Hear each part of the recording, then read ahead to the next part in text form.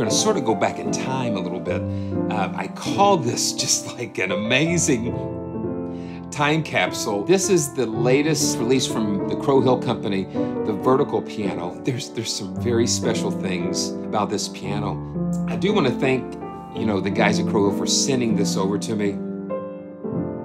They they went and found this. Um, what they called the victory pianos from, um, from World War II. Steinway and Sons, they created these pianos and they flew them and dropped them out of airplanes onto the battlefields. The backstory, uh, the backstory on this, it just, I'm still, I'm still trying to drink it all in because it, it is, um, it's so compelling.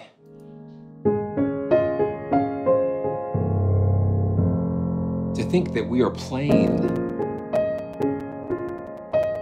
a piano from, um, let's see, okay, so let's do this. okay, to think that we're playing a piano from like um, 1940, in the 40s, 1941, and very few of them are surviving, but they are surviving in a sense in a museum case somewhere.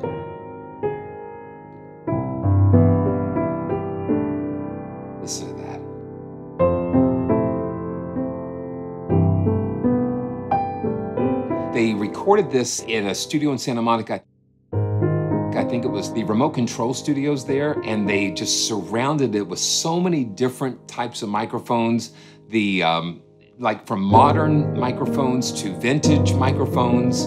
Uh, it's just beautiful. And then the thing is, it's not a really big room. It's like a, a you know, it's it's very dry. It's a nice dry, medium-sized type of room, so they can do all kinds of things with the. Um, convolution and different effects and just to kind of make it uh, make it versatile. And this is the default preset. We've got four different mic sources. This is the classic. And then we can just use this little cube here.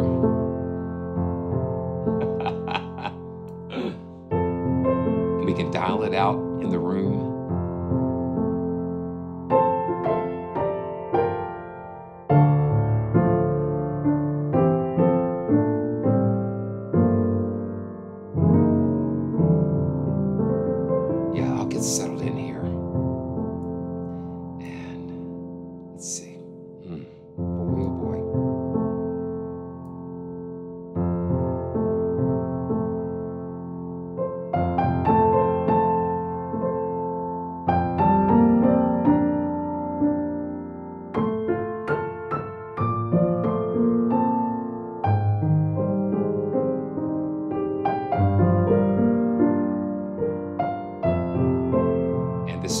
and we can bring it kind of close and look at how the, uh, I think the GUI and the, the way they put the uh, artwork together, it just connects you with the instrument so much. Now this is close.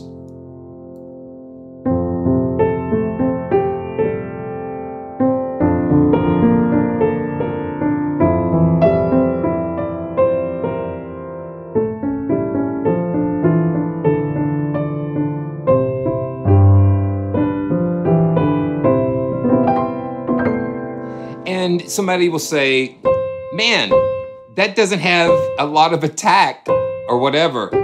But you know, one of the reasons why is because it's uh, iron strings. They had to use iron strings because of the restrictions on the materials and stuff. And, you know, with all of the war stuff going on, that's why it just, it has, you know, it just has that different sound to it. Um, it is, uh, okay, so let's see. Let's just dial it into the middle. And this is without, um, without any additional effects. We've got like four different uh, tabs here. Um, we've got just master settings. We can mess around with the dynamic range and velocity offset. That is one of the things that you always need to dial in uh, because that is what connects you with the instrument.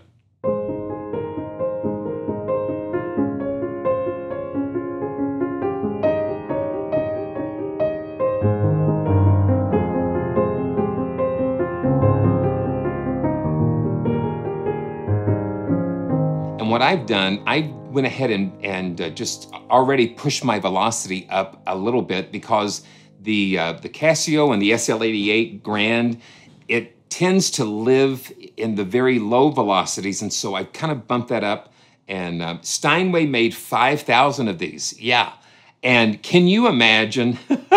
okay, can you imagine like um, you're looking up in the sky and all of a sudden this parachute comes out and this huge box falls, this huge crate falls and lands right in the middle of where you're in, in the middle of a war. These were these were literally dropped and with tools and with parts and with a manual on how to tune it. Um, it's it's crazy. Okay, so let's just uh, for fun and you know, we'll just stick with the, uh, we'll just stick with this vertical. Um, I'm gonna turn on the tape here. Instantly we've got this, um, they've done a lot of modeling and things, uh, even with like the velocity layers. They're doing like this, uh, spectral morphing. So it's not like your traditional, you know, you've got six dynamic layers or 12 dynamic layers and, you know, with the breaks in them. Uh, it's just like you've got different waves and different samples and they are being modeled and triggered as uh, in response to how you play it. And listen to this. Yeah.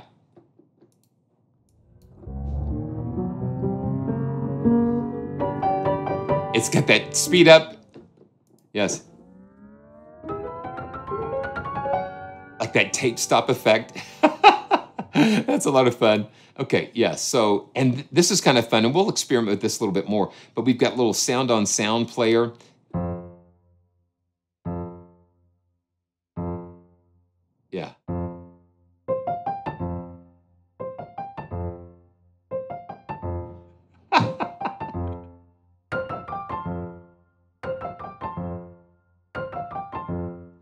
What we can do here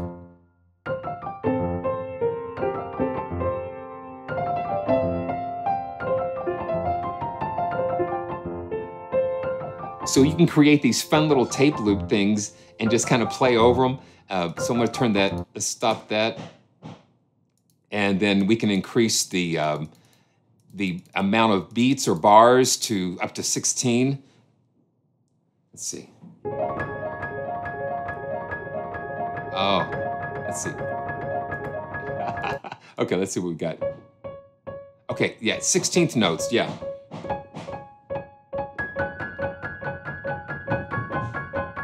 So the higher the number, the shorter the uh, time division. So 16th, 16th notes. So these are like whole notes here. Yeah. Yeah, so that's that's kind of cool. Yeah, three, four, five, six, seven, eight.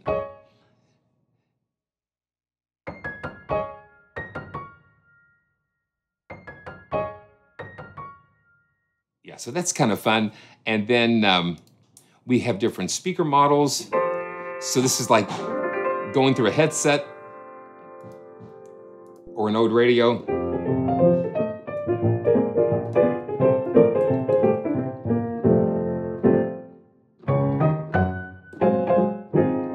See. Okay, here we go. Let's see. I'm uh, gonna gonna get it. Yeah, let's see.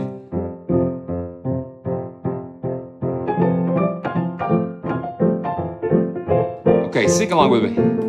Well, who's got trouble? We got trouble. How much trouble? Too much trouble. Well, now don't you frown, just knuckle down and knock on wood. well, who's unhappy? Unhappy. How unhappy? Unhappy. Oh, oh, that won't do. When you are blue, just knock on wood. It's funny because uh, Brad uh, is actually uh, fixing the floor in the living room. So this is this is kind of appropriate. this is kind of appropriate. Yeah, putting that through that old radio just kind of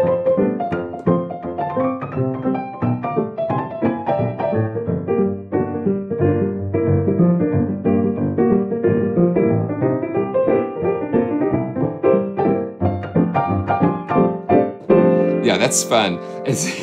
Though my hair is curly Oh, and my teeth are pearly. yeah, it, just takes me back into that era. I was looking uh, through so many of the um, of the different the different things that they were doing, and you have to go right back to uh, Casablanca. Let's go through a couple of these uh, presets too. Let's go to the scoring preset and take a listen to that. Uh, using the classic mic, and then we've got some noises. They they've actually captured like some of the equipment noises of going through different uh, radios and different equipment that is vintage 1940s uh, World War II era.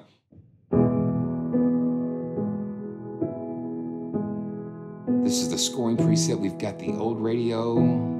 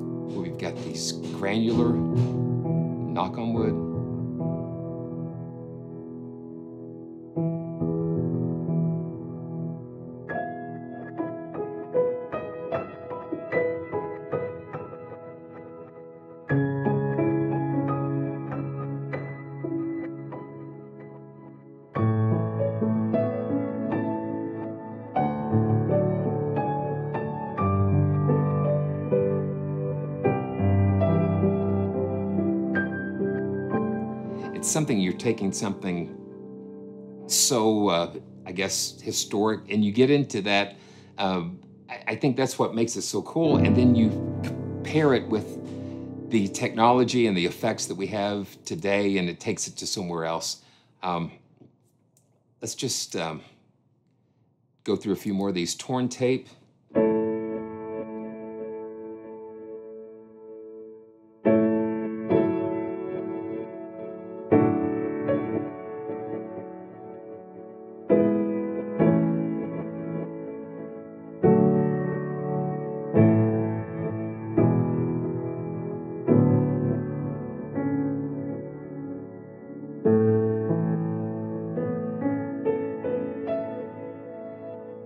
That's one of the things, I guess, with the newer libraries that, you know, and especially, you know, yeah, they're they're finding their way with the different pricing and things.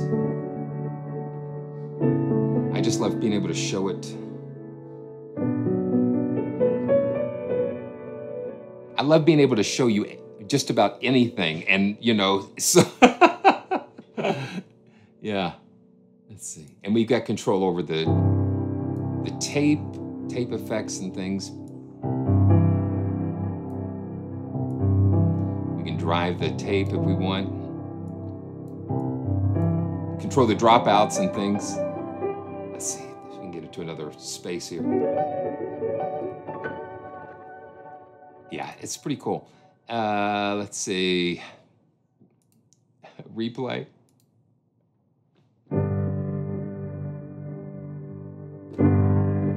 And this is leaning hard into uh, those tape effects. And then we can adjust the effects chain and that kind of thing here. We've got compressor and some saturation here.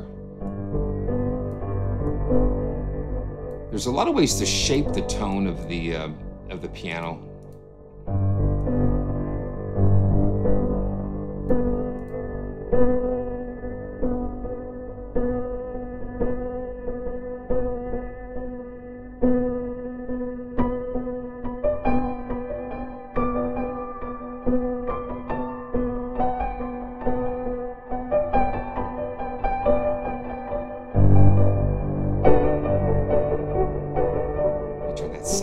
you down just a little bit.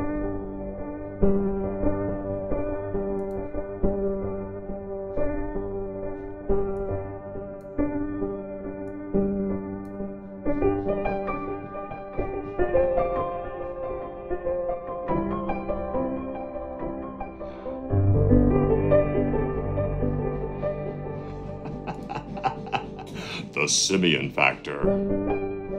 Yeah, and all of these you've got to be um, and that sounds cool. That sounds like a neat idea. Just to have like a um, a light version.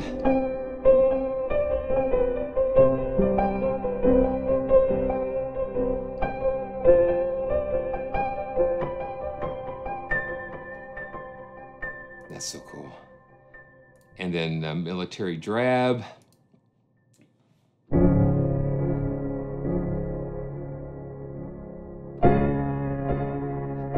And I think, uh, okay, so this is what I'm, I'm, I'm looking at here. Okay, yeah, the effects, the effects do change with the presets here. Okay, I was thinking that the presets were persistent, but um,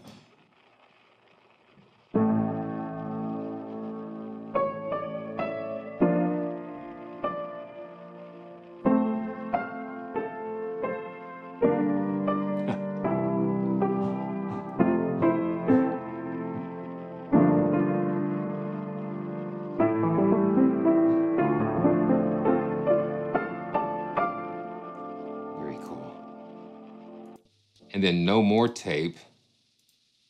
Yeah, so the tape.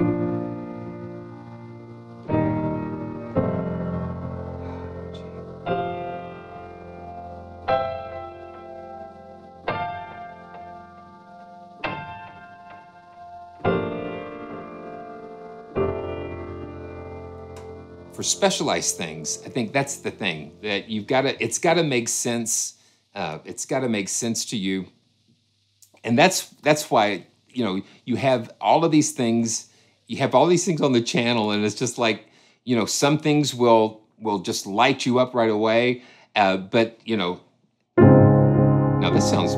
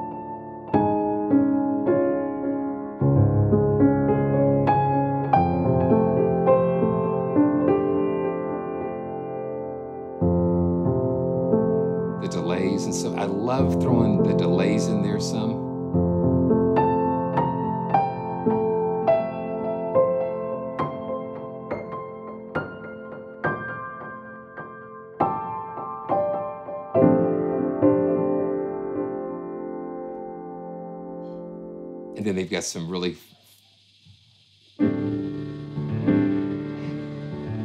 If you're making a World War II movie, this would be perfect for it.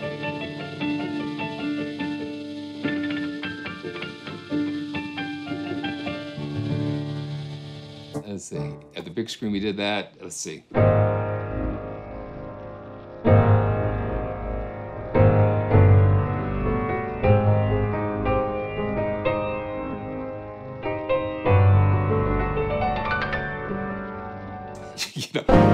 Oh, there it is.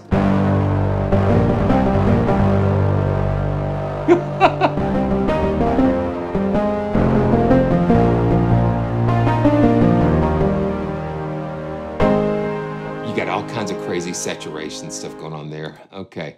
Compressors. Yeah, we've got that compressor going on here. Yeah. I don't know. I don't know. Yeah, so it says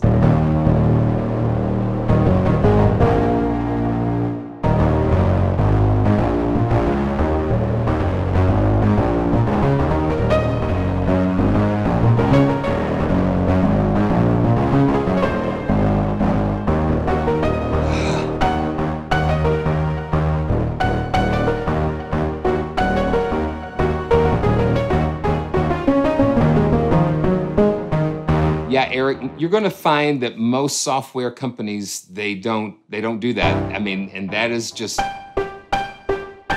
the majority, the majority, and it's just like the ones that are the exception are. And the, the cool thing about this piano is it's just like, I mean, imagine tuning a um, a piano that has iron strings and you you got to get it. And so they uh, they brought in a really gifted uh, piano tuner that worked with them on this. And I can't imagine. I can't imagine setting the strings and keeping them in tune, and keeping it in tune consistently through uh, like a sampling process like this. Okay, rude neighbors. Oh well.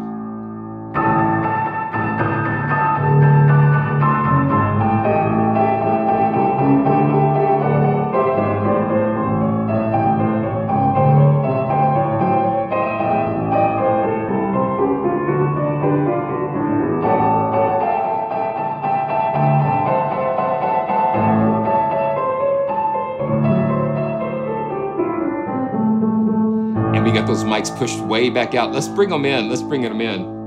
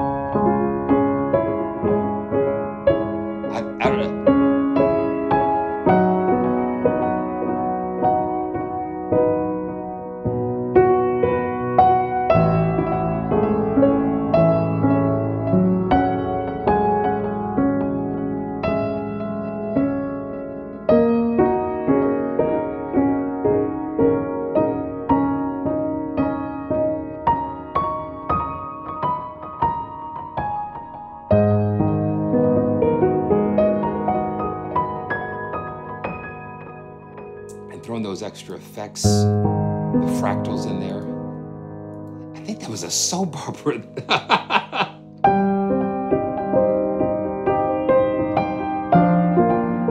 I think it might be all my children.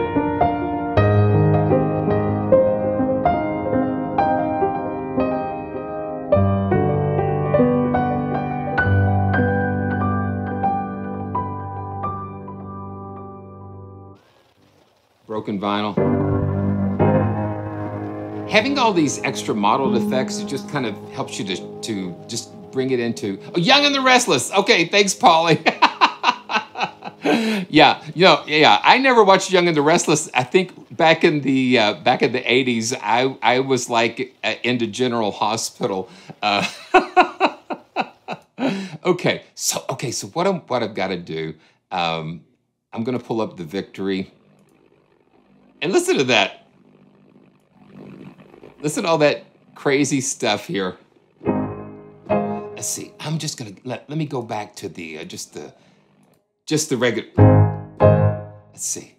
Okay. Okay, we're gonna have some little bit of fun here before before we get out of here, uh, because all I could think of, all I could think of was like all of the songs that were like uh, popular back in that um, in that time period. It's just like what would they sound like um, here? So what I'm to do, I'm going to crank the uh, the tempo back up to 160, and uh, let's crank the tempo back up to 160.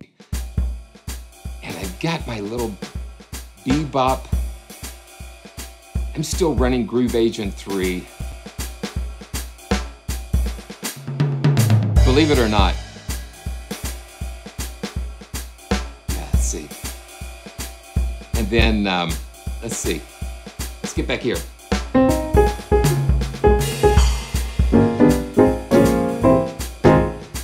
First things that came to my mind, okay, we're gonna make sure we get this going right.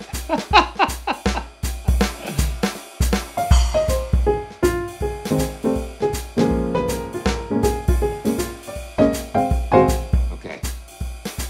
Are you ready for this? This is gonna be like a fun ride here. Okay. Here we go.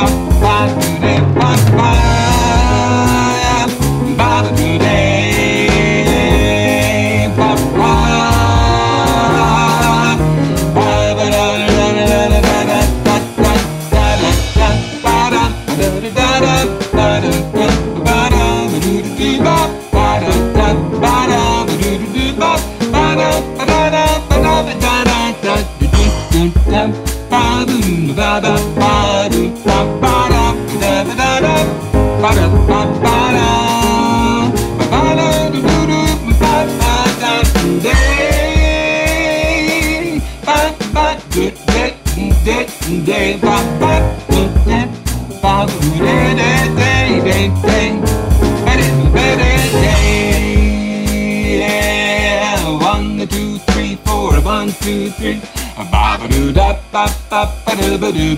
ba ba ba ba ba ba ba Here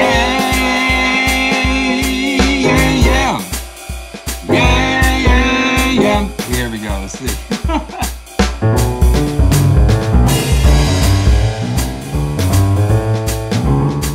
Okay, yes. Oh, Get it, get it, get it, get it, get it, get it, get it, get it, get it, get it, get it, get it. Here we go. He was a famous trumpet man from Chicago way. He had a boogie style no one else could play. He was the top man at his craft. But then his number came up and he was gone with the draft. He's in the army now, blowing reveille, the boogie woogie bugle boy of Company B. Ba, ba, ba, da, ba, da, da. Ba, doo, da, ba, da, doo, da, da, da, da, ba. He's in the army now, blowing reveille. He's the boogie woogie bugle boy company. Well, they made him blow a bugle for his Uncle Sam. It really brought him down because he couldn't jam. The captain seemed to understand. Because the next day the cap went out and drafted a band. And now the company jumps as he plays reveille. He's the boogie woogie bugle boy of company B.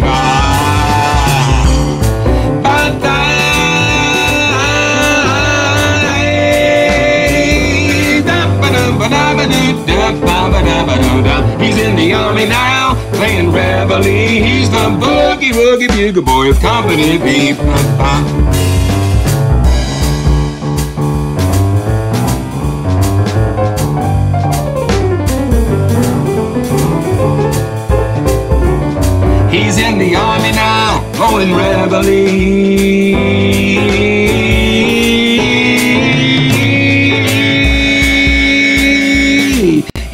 boogie woogie bugle boy of company.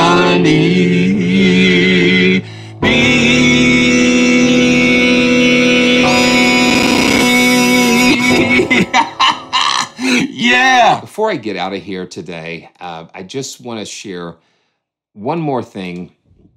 One more thing with you.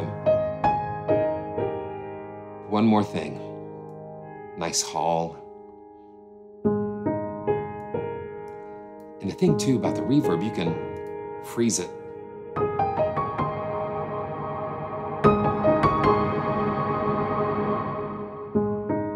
There's so many things hidden inside this. When I was looking at all of the different um, songs that were popular during this piano, when this piano was dropped in the middle of these war zones, um, I kept coming uh, across one song in particular. And it's a song that is, um, I guess you would consider it more uh, English uh, because it was right at the time when England had just been almost just obliterated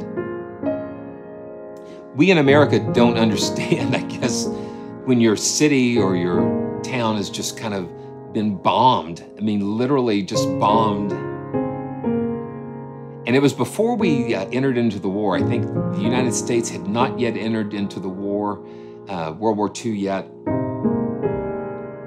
And, uh, well.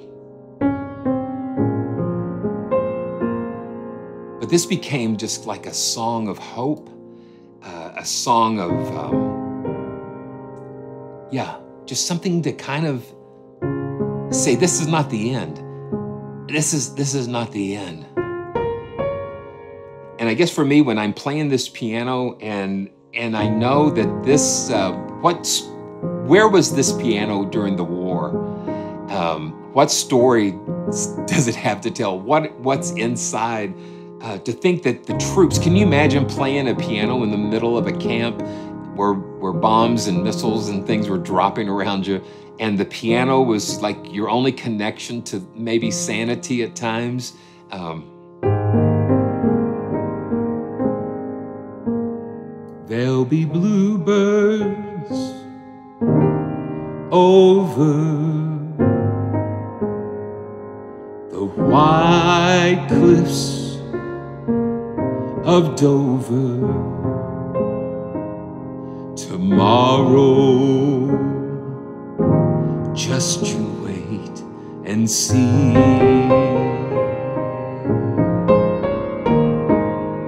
There'll be love and laughter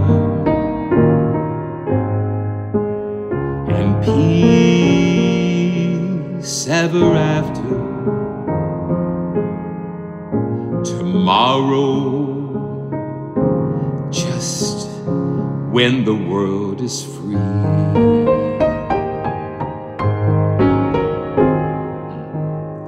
The shepherd will tend his sheep. The valley will bloom again, and Jimmy will go to sleep in his own little